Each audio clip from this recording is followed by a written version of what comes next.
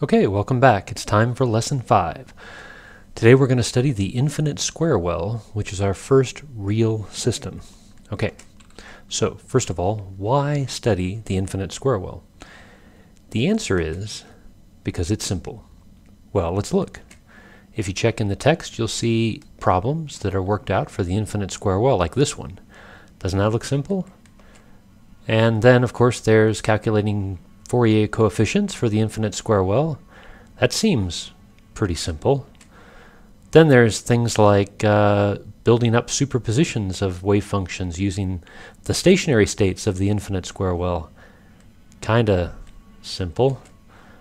And then, of course, there's testing for orthonormality of the stationary states of the infinite square well. That's looking really super simple.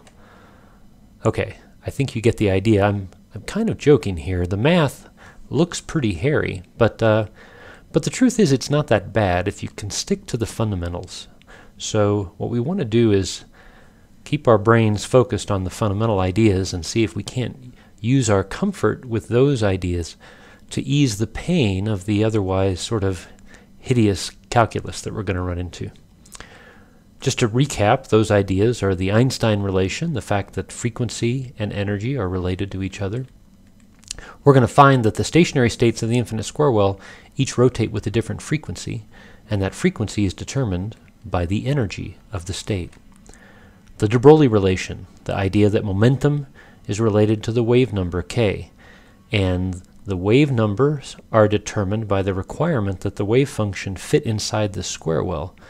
Uh, that half that the width of the square well is either one half wavelength or two half wavelengths or three half wavelengths, just just like standing waves on a string. And the de Broglie relation tells us, given the wavelength, what the momentum associated with that, or what the magnitude of the momentum associated with that state might be. We're going to be focusing on the uncertainty principle. It turns out the uncertainty principle also relates the size of the well to the kind of momentum you expect to see, um, magnitude of momentum. We're going to be adding amplitudes together to get the total wave function, and we're going to be calculating probability densities by squaring the amplitude. So all those ideas are going to come back, and we're going to use them in the context of the infinite square well. If you solve the Schrodinger equation for the infinite square well, you get solutions that are sines and cosines. In fact, the time-independent Schrodinger equation for the infinite square well is exactly the same equation as you get when you solve for standing waves on a on a physical string stretched between two points. And I'm, I'm sure you're familiar with those. Uh, if you need help seeing how the solutions come about, please you know ask. But uh, but it's straightforward. The uh, the stationary states are numbered one, two, three, four, five, and so on. And you can see that the that the number of each stationary state just corresponds to the number of half wavelengths that fit inside the well. I'm showing you examples for a well with a width of one unit, but of course you can have any well width, and that only affects the size of the of the wavelengths. If you calculate probability densities, you do that by squaring these amplitudes. You'll notice that the probability densities uh, also kind of look like sines, except that they're shifted up. Um, they're like sine squareds. Okay, so they have uh, well, you can see what they have. They have all positive values because probabilities have to be all positive real numbers. And so uh, the probability densities also have to be positive and real. But there are the first five stationary states corresponding probability densities. Okay, what are the important ideas here? Number one important idea is normalization. In other words, these states, although we know the solutions from the Schrodinger equation, in order to completely define them, we have to make sure they're normalized. So the idea is you start with an eigenstate, psi sub n. This is the spatial part of the time-independent Schrodinger equation, the solution to the Schrodinger equation. And uh, the factor in front of the x, I'm going to call that k sub n. It's n pi over a. It's uh, the required factor in order to make sure the sine function goes to 0 at the right edge of the well, assuming x starts at 0 on the left edge, all sines will go to 0 there, but the only way to get it to go to 0 at the other edge is to make sure that the wave number is an integer multiple of pi over a. So th that gives us our k sub n's. Anyway, to normalize it, we have to make sure that the probability density integrated across the well is 1. And you can see that's an easy integral to write down. Uh, sine squareds are easy integrals to do because sine squared always has a value, an average value of a half. So when you integrate over an integer number of half wavelengths, you get uh, 1 half times the size of the well. So it's uh, a over 2. So when you do the integral, you get 1 is equal to capital A squared times a over 2, and that means that capital A has to be the square root of 2 divided by the width of the well. So the normalization constant goes inversely like the square root of the width of the well. Okay, let's talk about energies of these states. You know, the only energy that there is is kinetic energy, because everywhere where there's potential energy, the wave function is zero. So the only energy we have to worry about is kinetic energy. The kinetic energy operator, we already know, is the uh, minus h bar squared over 2m times the second derivative with respect to x. That's the first term in the Schrodinger's equation we always write down. And uh, the psi sub n's are eigenstates of kinetic energy, of this kinetic energy operator. So that means it's easy to calculate the corresponding kinetic energy. We just apply the kinetic energy to one of our uh, eigenstates, one of our stationary states, and what we get out is the kinetic energy times the stationary state back again. So that means it's just got to be um, the momentum squared over 2m. Momentum, of course, is h bar k sub n. So we write all that out. We plug in what k sub n is. It's n pi over a. And you can say that you can see that the energy is easy to calculate for the infinite square well. It's just p squared over 2m. And it looks kind of intimidating as you see it written out there with all the h bars and the pi's and everything, but uh, it's actually not that bad. All right, another important idea. Let's look at orthonormality. Orthonormality is the property that the stationary states have, that if you integrate psi star of one stationary state against psi of a different stationary state, or the same stationary state, you get 1 if n and m are the same. In other words, psi star psi uh, for any single n is always 1. It's normalized. But if n and m are different, you get 0. So that delta nm there has a name. It's called the Kronecker delta. It, uh, it just is shorthand that says it's 1 when n is equal to m, and it's 0 when n is not equal to m. Okay, so what good is that? Well, it's good when we're talking about wave functions that are superpositions of stationary states. We'll see in a minute that uh, useful wave functions or real wave functions in the real world are, are never exactly eigenstates, but they're usually superpositions of eigenstates. So let's uh, let's look at that. We have a wave function that's a little bit of psi 1 plus a little bit of psi 2 plus, who knows, some other uh, contributions. The thing on the left is a general wave function. That's uh, you know some wave function that's been set up in the laboratory, say. And the things on the right are stationary states. So the idea is we're writing out a general wave function as a superposition of stationary states. Now let's say we want to normalize this general wave function. How are we going to do that? Well, we're going to have to calculate psi star psi and integrate it over all of x. Well, if you plug in the definition of the general wave function, you can see that that uh, looks pretty hairy. It's the integral of the superposition star times the superposition, the original superposition, and then integrated over all x. But let's the cool thing about integrals over all x and, and these sums is that it doesn't matter if you integrate the sum or you sum the integrals. So we can re swap out the order of summation and integration. And you'll notice what I've got over there on the right is the integral of psi star sub n times psi of m. Well, that's exactly the orthonormality integral. And we know what that one turns out to be. It's delta nm.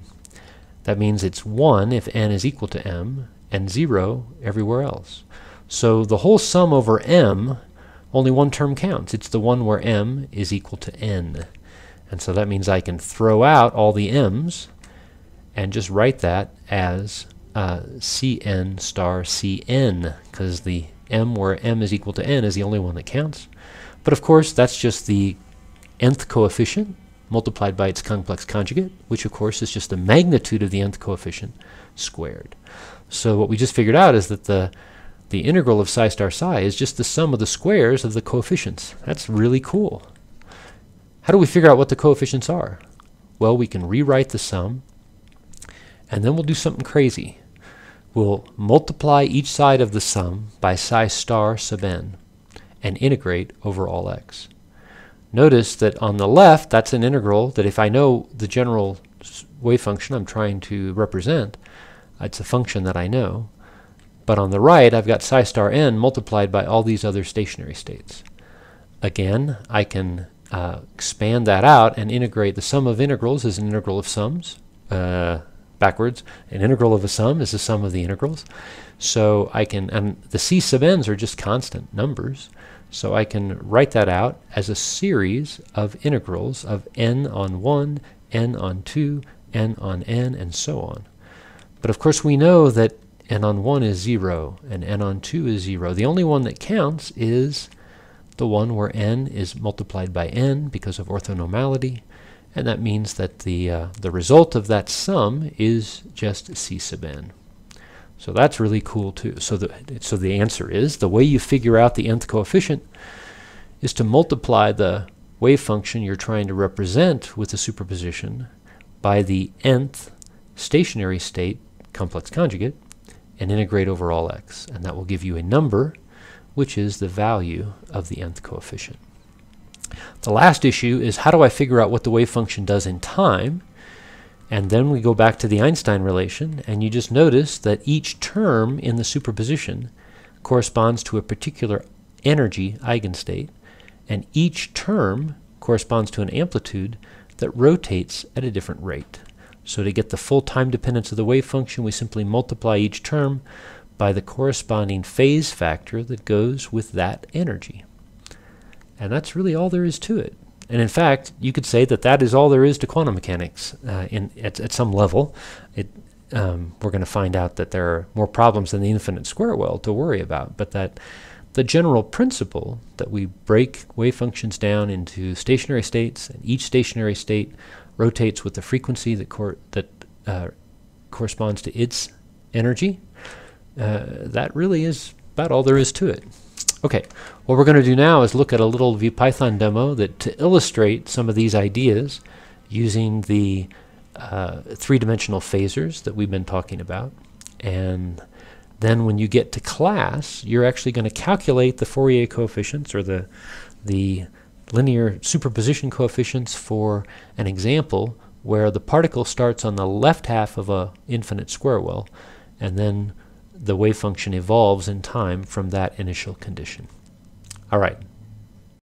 Okay, so here we are looking at the ground state of the infinite square well wave function again, and you can see it it rotates with a frequency omega. Now, we looked at this a little bit last time. I just wanted to point out something that I neglected to when we last spoke, and that is if you add the uh, first excited state, n equals 2, which has 4 times the energy, and then look at the um, probability distribution that sloshes back and forth, I wanted to point out something about the frequency of sloshing. The, uh, as the ground state goes around once, the first excited state goes around four times, but the frequency of the sloshing is three times every time the ground state goes around once. Let's watch that. Starting at the top where left, left, that's one time, two times, and then three times. So it did it three times. If you go into the frame of reference in which the ground state is stationary and watch uh, what happens, you'll see why that is. In that frame of reference, the um, first excited state is now going around with the frequency 3 omega 1 instead of 4 omega 1 and the sloshing happens every time the first excited state passes through the same uh, passes through the plane of the of the ground state. So the interesting point is that the sloshing frequency is the difference in frequency between the ground state and the first excited state. This has relevance because if you have an electron making a transition from the excited state to the ground state, its charge density is going to slosh just like this, and that charge density is going to radiate with the frequency equal to the difference in frequency between the two states. And that's just the right frequency so that the energy of the radiated photon is equal to the energy difference between the two states. Okay, so that's how that works. This is a slightly different demo where uh, we can look at the ground state, the first excited state, the let's look at the next third excited state. Now notice that they have different amplitudes. It turns out I've picked coefficients for these states that are just right to confine the particle to the left half of the well if I added an infinite number of them together. Of course, I only have seven here. So if you go, um, let's see, one, two, three, four turns out to not contribute at all. We'll find out why when we solve the board work problem today in class. Five, six, and seven. Eight also doesn't contribute at all, so uh, it's not included. If I add uh, all these states together and watch them go, let's look what they look like. You can see that each of them is spinning with its own frequency. Each state rotates with a frequency that corresponds to its energy. Now remember the energy of the stationary states of the infinite square well go like n squared. So that means the ground state is 1, first excited state is 4, and then you go 9, uh, 16, and so on, 25, 36, 49. So it turns out the seventh excited state, which is the, I forget which color that is, let's see, that is the purple, it's going around 49 times every time the ground state goes around once. But if I add them all back in again, you can see how they go. Let's look at the superposition. That's the superposition. That's the full quantum state of all those guys added together. So you can see it, it looks kind of crazy. But uh, if we turn off the time and reset so that we're looking at t equals 0, you'll notice that indeed, go ahead and turn off all the individual components, the particle is pretty well confined to the left edge of the well. Now it's not perfect, if you'll notice, there is a little bit over here that's not confined to the left edge of the well, but that's only because I've only added seven terms. If I added more terms, many more terms, uh, then on the left I'd have a square, it would look like a square wave, it would be a flat top, and it would go suddenly to zero, and I have zero over here. But because I only have seven terms in my sum, it doesn't quite make it. But uh, if I turn on the time, you'll notice that the wave function goes crazy, and uh, but the other thing I want to point out is that if you wait until the ground state wave function goes through one full cycle, let's see if we can see that. I'll go ahead and bump it up here. When it gets to one full cycle, right about there, the wave function returns to its original look. So this thing is periodic. And if you look at the Fourier expansion, if you look at the coefficients and see what happens when the ground state goes through one full cycle, you'll see that this is exactly what you'd expect. All right, so here's our first example of a real wave function that starts out, it's not a stationary state, obviously, it's a superposition state, but you can see what happens to the, uh, to the total wave function. What about the probability? The probability dances around, similar way. Again, if you wait till the ground state wave function gets back to its uh, original orientation, see if we can do it here, you're going to find that the probability is all confined to the left-hand side. It repeats. And that's how it works. All right.